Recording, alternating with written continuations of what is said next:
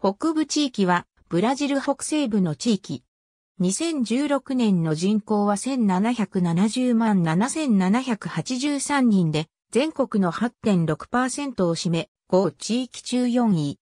面積は385万3677平方キロメートルで、全国の45.3%を占め、5地域中最大。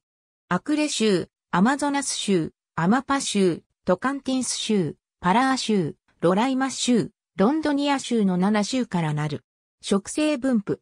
緑はアマゾン熱帯雨林。橙はカンポセイハード。青は海岸植生。木はヒギリアンの草原。気候区分。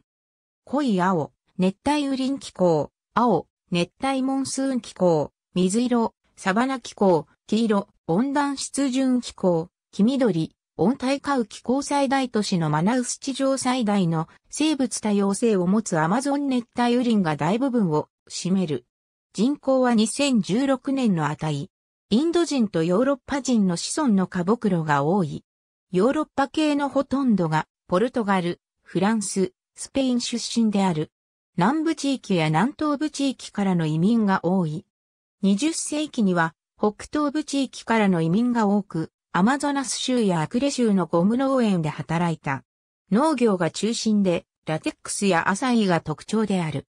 工業では、パラー州のカラハス山脈で金や宝石、鈴石、鈴が、アマパー州のナビオ山脈で、鉄、マンガンが採掘される。公用語はポルトガル語で、小学校で教えられる。